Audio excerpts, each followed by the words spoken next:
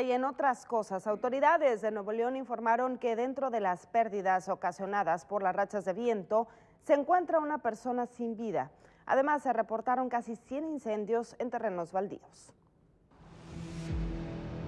Hay algunas ráfagas que se van a estar presentando en el área metropolitana. Una persona sin vida, daños estructurales, caídas de árboles, colonias sin electricidad y una mala calidad en el aire fueron los estragos reportados debido a los fuertes vientos con rachas de hasta 90 kilómetros por hora que se registraron durante el fin de semana.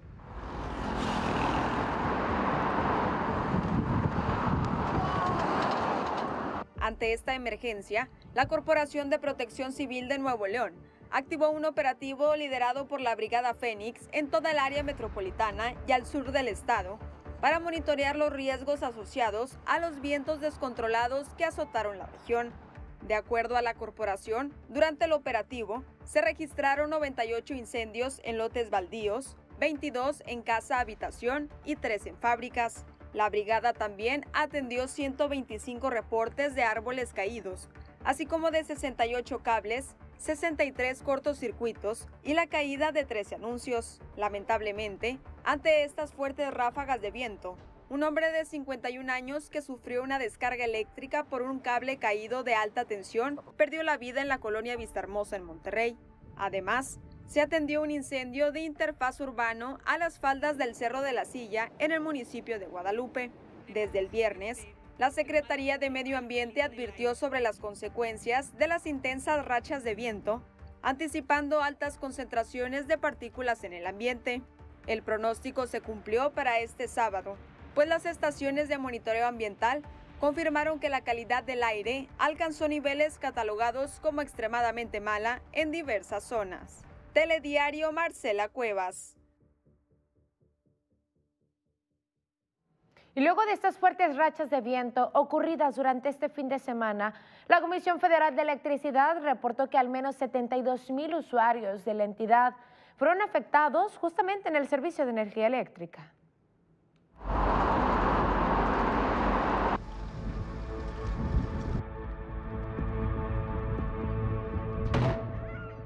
La Comisión Federal de Electricidad informó que tras los ventarrones del Frente Frío 32 fueron poco menos de 107 mil usuarios afectados, de los cuales 72 mil se ubicaron en Nuevo León, mismos que ya cuentan con el servicio restablecido. A través de un comunicado, la paraestatal informó que el Frente Frío y sus ráfagas de viento afectaron a 72.704 usuarios del estado de Nuevo León, 23.690 de Tamaulipas, 7.515 de San Luis Potosí y 2.787 del estado de Veracruz. Todo ello para un total de 106.696 usuarios afectados. Sin embargo, el 52% de ellos volvieron a contar con el suministro al cabo de 7 horas y la totalidad de los usuarios a las 11 horas de la afectación. La Comisión Federal de Electricidad informó que para restablecer las fallas se requirió una fuerza de trabajo que constó de 98 electricistas, 21 grúas y 28 vehículos pick-up. Se espera que el pronóstico de ventarrones continúe en las próximas horas. Telediario Israel.